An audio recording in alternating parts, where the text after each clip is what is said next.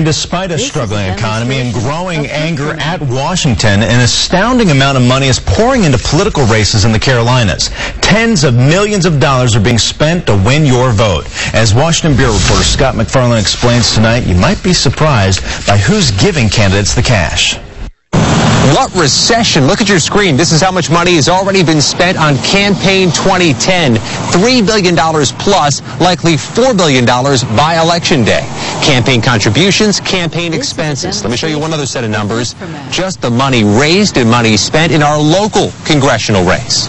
The battle for Senate between Republican Richard Burr and Democrat Elaine Marshall.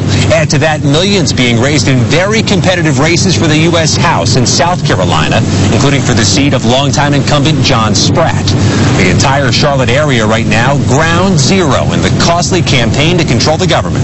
It is very expensive to run for office. Members of Congress need money, and they rely on the people who have the most kind of wants and needs from Congress to provide them with that money.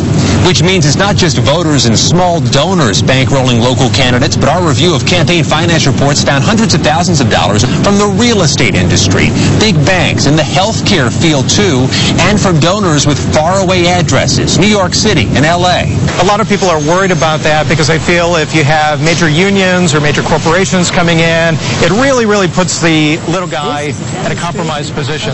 In Washington, at private homes near the Capitol, dozens of big-ticket fundraisers are expected for candidates nationwide later this month, some charging thousands of dollars just for entry.